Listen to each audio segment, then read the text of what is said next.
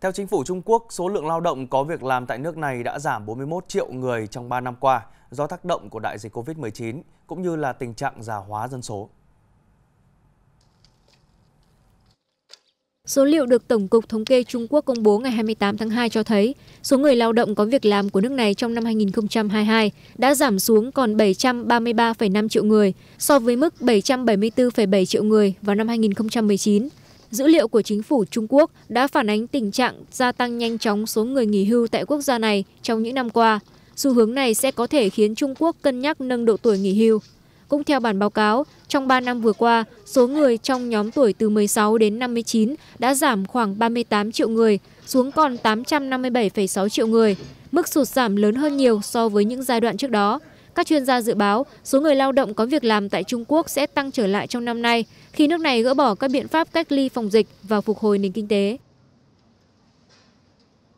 Cửa hàng thực phẩm thuộc sở hữu của gia đình vợ tiền đạo nổi tiếng Lionel Messi ở Argentina đã bị hai tay súng tấn công vào ngày hôm qua.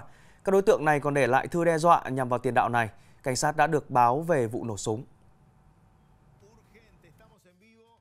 Cửa hàng thực phẩm Unico thuộc sở hữu của gia đình vợ tiền đạo nổi tiếng Lionel Messi nằm ở quận Lavaro, thành phố Rosario, Argentina đã bị hai tay súng tấn công.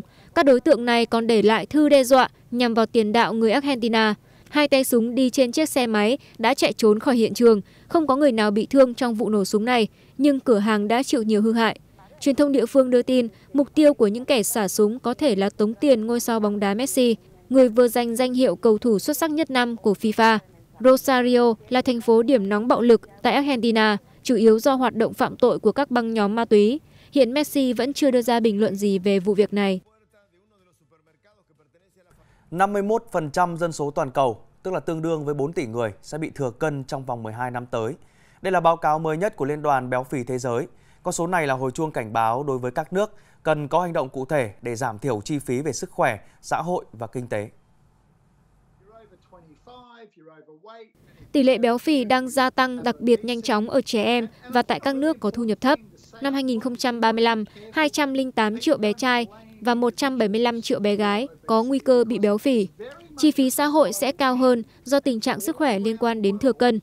Thế giới dự kiến sẽ phải chi trả 4.000 tỷ đô la Mỹ hàng năm kể từ năm 2035 để giải quyết các hệ lụy, tương đương với 3% GDP toàn cầu. Do đó, các nước nên tập trung vào yếu tố xã hội, môi trường và sinh học liên quan đến điều kiện phát triển của con người. Theo WHO, tại nhiều quốc gia, người dân có thói quen ăn các loại thực phẩm giàu năng lượng, nhiều đường, lối sống ít vận động do tính chất công việc, thay đổi phương thức di chuyển và gia tăng đô thị hóa.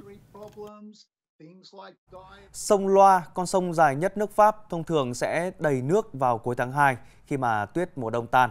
Nhưng mà giờ đã là đầu tháng 3, chỉ có những mảng cát nhô cao, nước sông khô cạn, làm dấy lên lo ngại về tình trạng thiếu nước nghiêm trọng. Theo dự báo của các chuyên gia khí tượng, trời sẽ không có mưa cho đến hết tuần đầu tiên của tháng 3. Nước sông Loa từ lâu vẫn được sử dụng cho mục đích phục vụ sản xuất sinh hoạt của người dân. Do đó, hạn hán có thể khiến nhiều người lo ngại sẽ thiếu nước nghiêm trọng.